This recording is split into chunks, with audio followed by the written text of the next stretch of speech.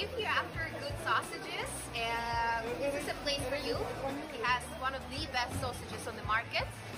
Um, yeah, see for yourself.